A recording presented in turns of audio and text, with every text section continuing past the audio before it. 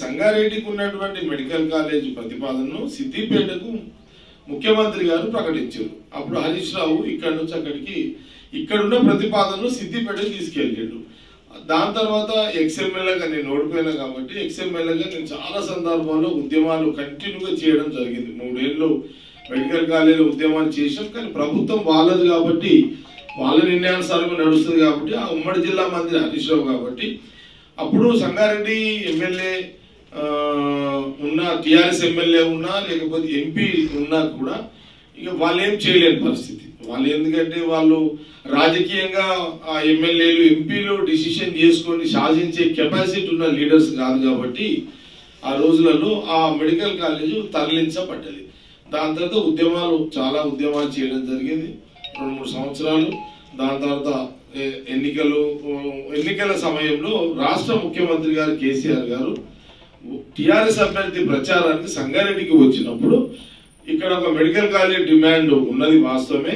ఖచ్చితంగా వాళ్ళ వాళ్ళు మాటిచ్చారు. ముఖ్యమంత్రి గారు ఆ ఎన్నికల్లో మెడికల్ కాలేజు శాంక్షన్ నేను ఇస్తా అని చెప్పి అక్కడ మాటిచ్చారు. ఇచ్చిన తర్వాత సరే ఎన్నికలు వచ్చినాయి. ఎన్నికల్లో నేను గెలవడం జరిగింది. గెలిచిన తర్వాత ఫస్ట్ అసెంబ్లీ సమావేశాల్లోనే నేను ముఖ్యమంత్రి గారికి అప్పీల్ చేసిన. సార్ మీరు ఎన్నికల సమయంలో వచ్చినప్పుడు సంగారెడ్డి గవర్నమెంట్ హాస్పిటల్లో మెడికల్ కాలేజ్ మీరు ఇస్తా అని చెప్పారు.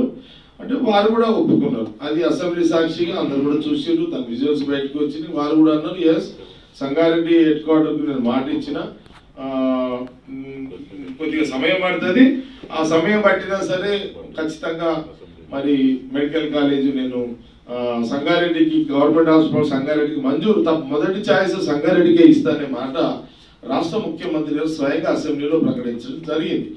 దాని తర్వాత హెల్త్ మినిస్టర్ రాజేందర్ గారు కూడా అలాంటి ప్రతిపాదనలు నడుస్తున్నాయి అని అనుకుంటూ సెకండ్ రెండో అసెంబ్లీ సమావేశాలు అప్పుడు నేను మళ్ళీ పాయింట్అవుట్ చేసిన. ఆ రోజు సభలో ముఖ్యమంత్రి గారు లేరు ఆ రోజున.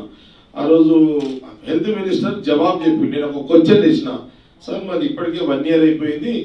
మరి మీరు మెడికల్ కాలేజ్ అన్నారు అన్నప్పుడు హెల్త్ మినిస్టర్ ఒక మాట ఏం చెప్పిందంటే ఎక్కడైతే జిల్లాలలో ఆ జిల్లాలలో మెడికల్ గవర్నమెంట్ మెడికల్ కాలేజ్ ఇచ్చే దగ్గర ప్రైవేటు మెడికల్ కాలేజ్ ఉండొద్దు అనే మాట ఏదో ప్రకటన చేసిండు. అయినా ఇది ముఖ్యమంత్రి గారు స్పెషల్ కేసు కింద మాట కాబట్టి తప్పకుండా అది అవన్నీ అధిగమించి ఇక్కడికి ఒక మెడికల్ కాలేజ్ ఇస్తాం కేంద్రానికి పంపించడం జరిగింది అనే మాట కూడా ఆ రోజు హెల్త్ మినిస్టర్ రాజేందర్ గారు కూడా చెప్పడం జరిగింది. అసెంబ్లీ సమావేశాలు జరుగుతున్నాయి నేను క్వశ్చన్స్ జరుగుతున్నాను ముఖ్యమంత్రి స్పందన వస్తున్నది హెల్త్ మినిస్టర్ స్పందన వస్తున్నది మరి కేంద్రంలో ఏం జరుగుతుందో మనకు తెలియదు సరే ముఖ్యమంత్రి గారు ఈ మధ్య కాలంలో మూడు మొన్న మూడు రోజులు ఢిల్లీలో ఉన్నారు. ఈ మూడు రోజులలో మరి మెడికల్ కాలేజీలు తెలంగాణకు కావాలని అడిగిరా లేదో తెలియదు మరి అదొక ప్రశ్నగా మిగిలిపోయింది. దాన్ని అసలు దీని ఫాలో అప్ ముఖ్యమంత్రి గారు టీఆర్ఎస్ ప్రభుత్వం చేస్తుందా చేస్తలేదు అనేది కనబడుతుంది స్పష్టంగా. మూడు రోజులు ముఖ్యమంత్రి గారు ఉన్నప్పుడు ఈ రాష్ట్ర పరిస్థితులకు రాష్ట్రానికి ఏం కావాలి ఏమి మర్చిపోయినాము ఏమి కావాలి కేంద్రం నుంచి ఏం తెచ్చుకోవాలనే మరి ప్రతిపాదనతో ముఖ్యమంత్రి గారు ఢిల్లీకి పోయిరా లేకపోతే ఎందుకు పోయిండా అనేది మాకు అర్థం కాని సమస్య. మొత్తం మీద ముఖ్యమంత్రి గారు ఈ మూడు రోజుల పర్యటనలో మరి తెలంగాణ ప్రాంతానికి మెడికల్ కాలేజ్ విషయంలో ఎలాంటి చర్చ జరగలేదు అనే దాని మీద చాలా స్పష్టంగా కనబడుతుంది. ఇక మరి మా సంగారెడ్డికి ముఖ్యమంత్రి స్వయంగా మీరు ఒక చూడండి ఒక ముఖ్యమంత్రి హోదాలో ఒక మాట ఇస్తే అది శాసనం అది. ఒక ముఖ్యమంత్రి మాట అంటే మాట అనేది ముఖ్యమంత్రికి మాటకున్నంత ఆ శాసనం ఇంకా ఏ మంత్రికి ఉండదు ఎవరికి ఉండదు.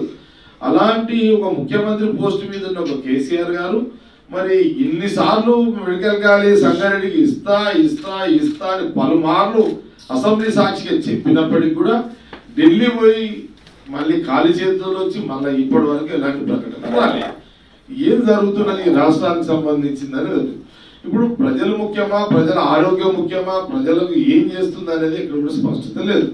అందుకని అయ్యా ముఖ్యమంత్రి గారు నేను మీరు ముఖ్యమంత్రి కాబట్టి చాలా బిజీ ఉంటారు మీరు చాలా విషయాలు మర్చిపోవచ్చు.